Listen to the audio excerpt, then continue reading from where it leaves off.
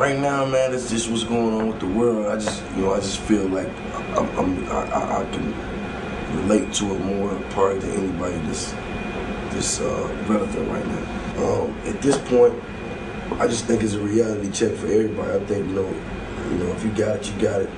You don't, you don't. It's either haves or have-nots right now. You know, ain't no in betweens. Um, so I just think music is the best way to kind of massage the situation, kind of, you know, just kind of, you know what I'm saying, iron the wrinkles out, because it's like, that's some real life shit to wake up and don't know you're gonna get your next meal, your next dollar from. When you talking about single parents, you talking about motherfuckers that was already in a bad situation. What about the people that just, we just left in uh, fucking New Orleans that's dealing with it? They had to move to Texas to start over, and now this shit hit.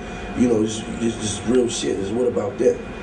You ever seen a motherfucker that go to like probably got thousand dollars in his pocket? That's what he maintain off of year round. You know, he gonna flip it. He gonna you know make his little money, but he gonna keep that thousand dollars right there. He might fifteen hundred. You know what I mean? He might do two thousand, but he gonna take every other Friday.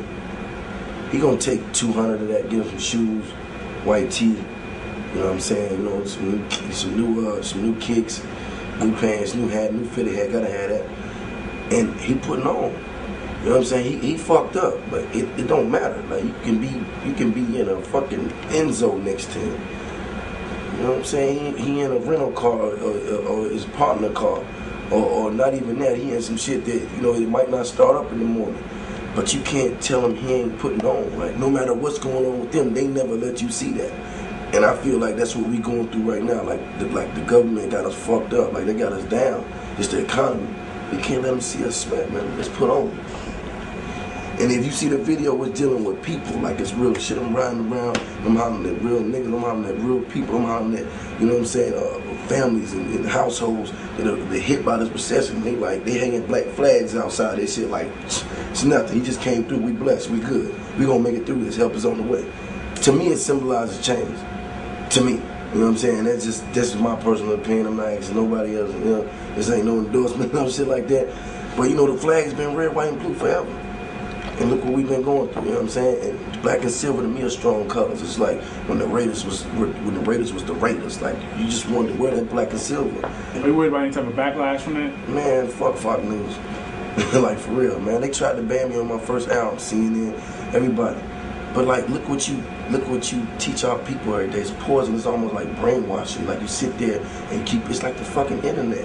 If you keep putting shit on the internet, after a while you believe it. You're gonna tell me that you're gonna tell me a 12 year old girl got shot in a drive by, and you're gonna put it on the news for ratings, and I'm wrong for speaking to my people about what's going on in our community.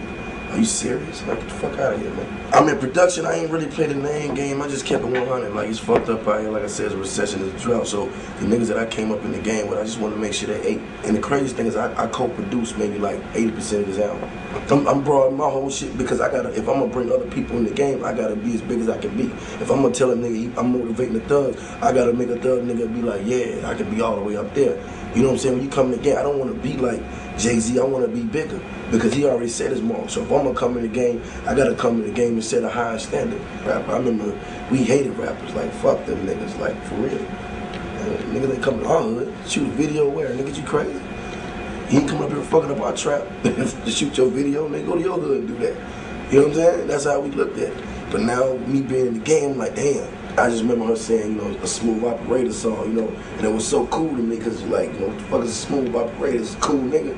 But I'm like, you know, smooth operator in my mind is a nigga who handle this business. Like, don't sweat, don't trip, no nothing. Nigga, get it done. And that's what I was basically saying, you know, you know, doing some Sade, I'm a smooth operator, nigga. I run a smooth operation. Like, my shit is 100. That's about me, and that's how I felt.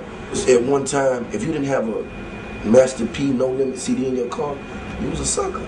Like you didn't come through, boom, we know limit so I thought I took boom. Like if you ain't come through bamming that shit, it's like you might as well not even come through.